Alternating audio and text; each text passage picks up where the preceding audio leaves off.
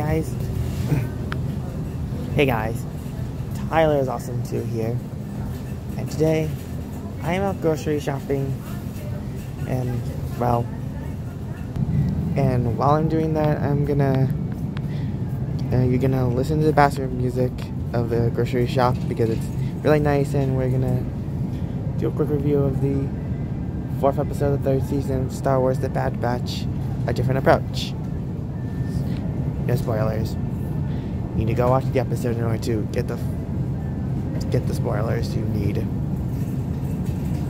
Can be considered spoilers if you just watch the episode? Nah, who cares?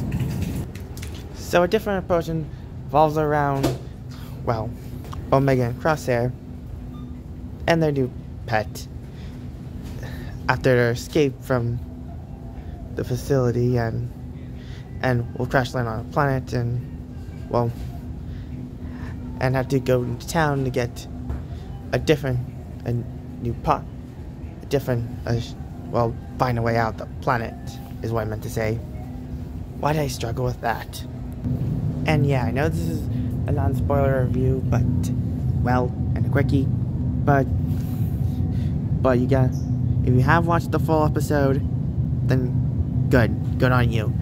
And I'm to spoil this part if you haven't. So, at the end of the episode, they actually reunite with Wrecker and Hunter. So, got expected to be a season, really long time this season, but no, it's just early as episode 4. And, well, let's see how how how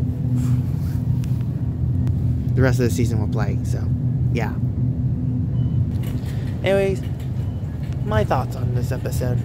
Well, basically, the visuals of this episode are good as usual. They're amazing.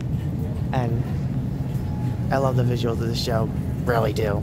And how it echoes certain things. And, and really do. Go check it out and how they mirror the scenes and it's it's brilliant. And well, it shows Crosshair and Omega well bonding together. It shows shows how attached that Omega is to her new pet and and how she's and how her cunning side and, and a card game. Wait, is there a real card game based off it? I gotta find out what I gotta recheck what it is and see if it has a real world counterpart. Might need to look it up. Also like how the villains are portrayed and they're not dumb and they're actually smart. Props for that. So I have to give this episode like like a it's a really good episode and I have to give it in fairness I would say 9 out of 10. And well this and this is my review of a different approach. And be sure to hit that Kuga thumbs up button, like, subscribe, hit that notification button, and well, button, yeah, button.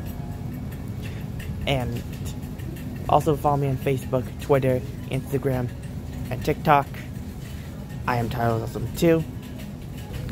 And like I said, last episode review. I'm now having this in the actual videos and not the descriptions. May the Bad Batch be with you.